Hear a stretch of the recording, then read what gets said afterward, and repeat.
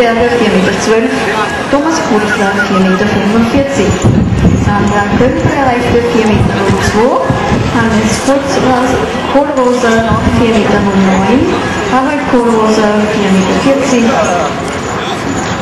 Meter, Nikolaus Gratgen 4,53 Meter, Nikolaus Russo. Sehr cool.